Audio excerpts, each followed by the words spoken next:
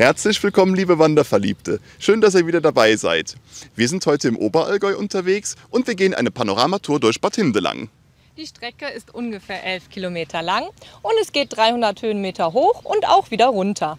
Und heute haben wir einen Wanderführer dabei und zwar den Robby von Tech Classy und die Gina ist natürlich auch mit bei uns dabei.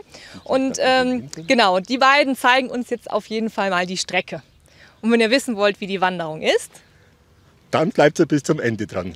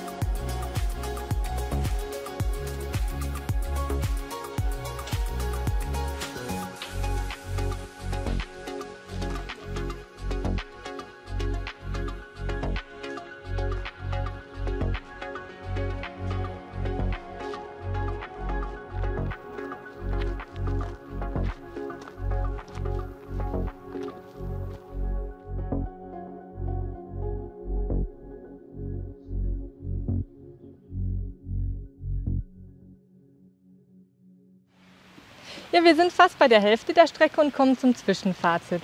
Also wir haben hier wirklich wieder wundervolle Berge.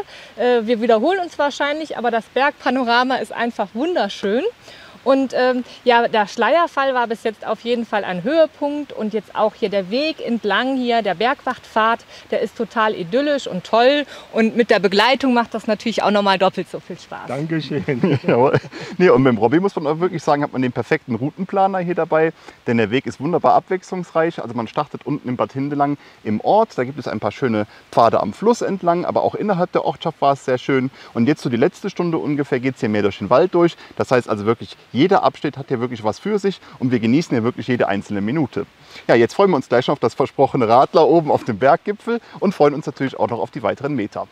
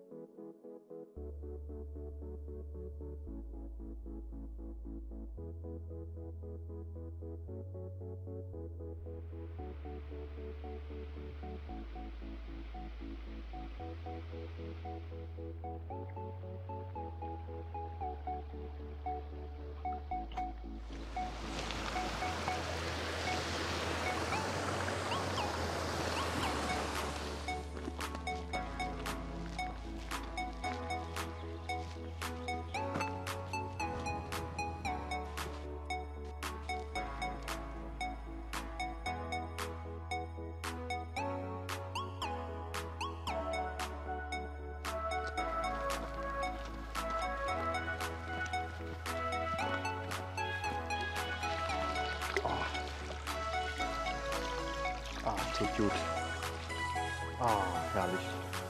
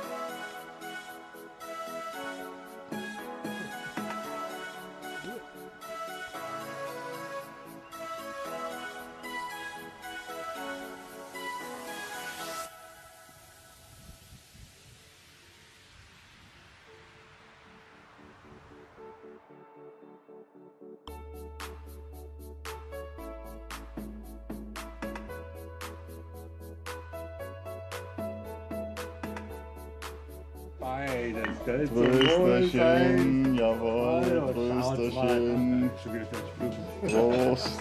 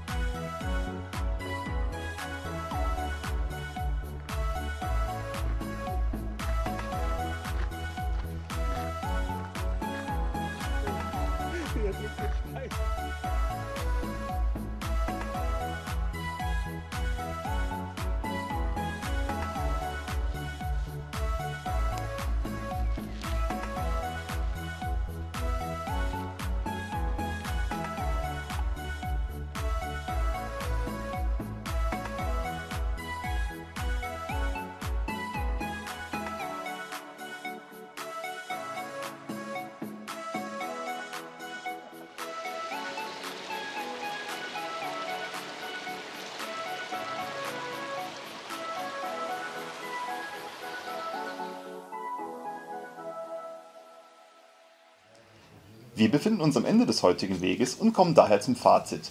Die Strecke lässt sich beschreiben als eine abwechslungsreiche Tour, die im Ort von Bad Hindelang beginnt und dann nachher auf schön abseits gelegenen Wegen führt, durch den Wald und mit immer wieder schönen Blicken ins Tal.